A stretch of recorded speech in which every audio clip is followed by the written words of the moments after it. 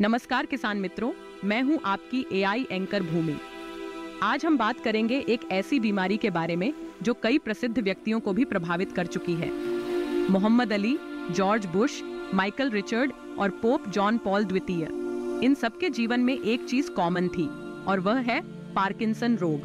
Parkinson एक ऐसी बीमारी है, जिससे हाथ, बाजू, पैर, जबड़े या सिर में कंपन होने लगता है मांसपेशियाँ सख्त हो जाती हैं, चाल धीमी पड़ जाती है और मरीज़ को संतुलन बनाए रखने में कठिनाई होती है। यह मस्तिष्क का विकार है जो धीरे धीरे बढ़ता है और समय के साथ इसके लक्षण बिगड़ते चले जाते हैं। जैसे जैसे बीमारी बढ़ती है मरीज़ को चलने फिरने और बोलने में परेशानी होने लगती है। इसके अलावा नींद की समस्या अवसाद याददाश्त में कमी और थकान इसके कुछ और संभावित लक्षण हैं। जी भूमि पार्किंसन के लक्षण और प्रगति की दर हर व्यक्ति में अलग होती है। शुरुआत में लक्षण सूक्ष्म होते हैं, जैसे हल्का कंपन या कुर्सी से उठने में कठिनाई।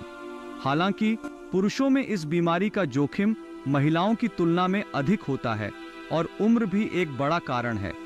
अधिकतर मामलों में यह 60 साल के बाद शुरू होती है, लेकिन कुछ मामलों में 50 साल से पहले भी इसके लक्षण दिखाई दे सकते हैं। हमारे दिमाग में बेसल गैंग्लिया नाम का एक क्षेत्र होता है, जहाँ की तंत्रिका कोशिकाएँ डोपामाइन नामक रसायन का उत्पादन करती हैं। जब ये कोशिकाएँ मरने लगती हैं तो डोपामाइन का स्तर घट जाता है, जिससे पार्किंसन के लक्षण दिखाई देने लगते हैं। पार्किंसन का फ़िलहाल कोई संपूर्ण इलाज नहीं है, लेकिन दवाओं, शारीरिक और वाणी चिकित्सा, योग और स्वस्थ आहार के ज़रिए इसके लक्षणों को कम किया जा सकता है।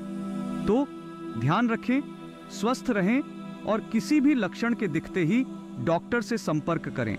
जी हाँ अपना और अपने परिवार का ध्यान रखें। आज के लिए इतना ही। धन्यवाद।